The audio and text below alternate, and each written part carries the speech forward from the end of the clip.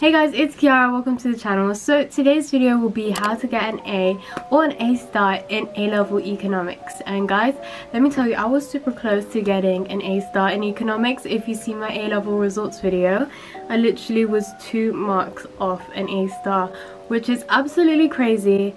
I'm still really grateful, but absolutely crazy how I'd get up to that level because at the beginning of sixth form I was so so bad at economics. I don't want to make this video extremely long so I'll leave my main points and resources down below that helped me to succeed in A-level economics. Uplearn was actually a possible option for me at the very beginning like the first three months because I wasn't getting those A's at all. However, I watched many A-level advice videos and found a good um, economics technique as well as it takes practice and more time but if you do need to add that extra effort just to really push yourself and make sure that you can get those top grades then definitely add that time. Okay, so starting off with my first tip, it would be find your revision technique and I always say this. So my revision technique was definitely the Cornell note method. So I'd have a piece of paper and then I would draw a margin on the left side or the right side and I'll pop in the questions along with my notes in the um, big section. And then I would just number those questions and circle the questions that I got wrong. Just focus on answering those questions until you get them right and then after that I would just get a piece of paper do a mind map of what I can remember. And I would make sure to do this after my lesson in economics. For my economics lesson I would make sure that roll around what the topic is going to be about so that I'm not completely clueless. So what helped me get through um, the multiple choice in economics is to do many multiple choice questions. And even though it may not seem like you're getting 25 out of 30 or 20 out of 30 yet you will get there soon as long as you keep on repeating those multiple choice questions and answers so what I did is I just had Google Slides to help me with this.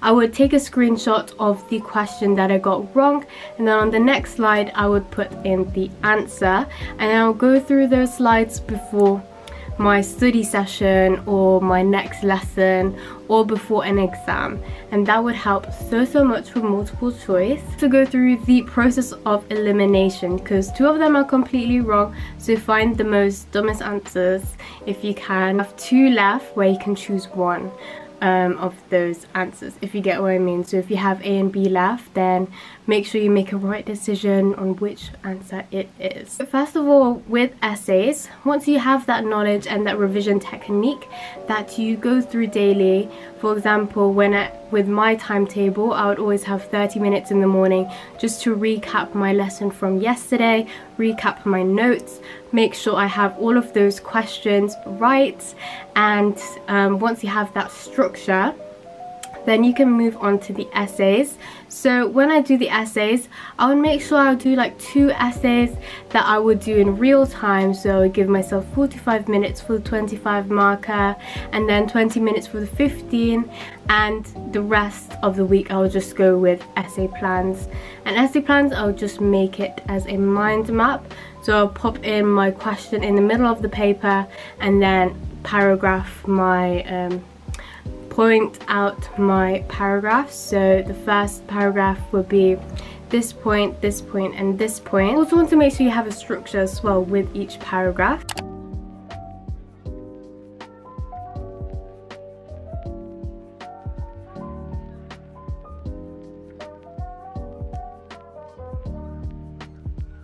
But this structure is so so helpful. So it has your point and then your evidence then you explain. Yeah make lots of essay plans and go through them regularly um, when it relates to the topic. And then if you do your own essays make sure you have your teacher to check them for you and focus on your weaknesses. Okay so when you're making your flashcards as well I would make flashcards for paragraphs as well and for a particular topic for example the budget what um, arguments can I put for the budget?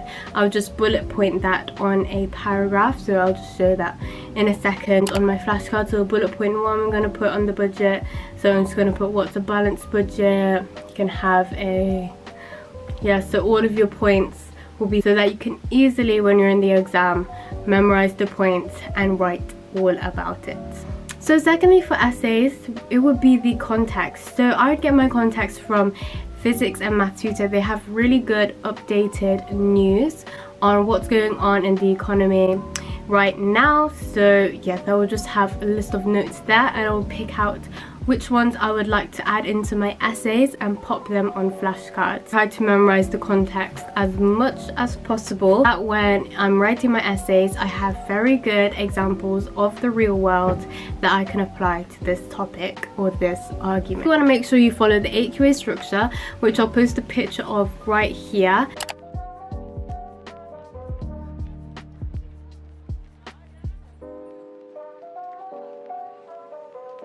Um, I would just stick this on my wall and make sure that when I'm writing an essay I'm getting all of these points because basically you want to be the mark scheme. Okay, so my camera just died on me. We have this booklet that I always use for um, when I go to school before the exam I'll just have a read of this because this will tell me what I'm missing in my knowledge so in the red here as you can see it's the bits that I forgot to add in or while I was writing out my notes from my memory of blurts and also the diagrams. Make sure you practice the diagrams so I'll just spend like 30 minutes just writing out the diagrams, all the diagrams I can remember that relates to the topic or the exam you're doing. This is really handy as well along with my slides. Really do learn a lot for economics. I remember learning so, so much content just for one exam paper. So when you learn a, a new topic, make sure it's drilled in your brain by understanding. So understanding the topic means that you can explain the topic to a young kid, to an adult in your own words and um, you don't even need to look at your notes. And then in this book, in the green is just the context, so real life examples. I also did, which actually helped me, is to just rewrite my really good essays over and over again.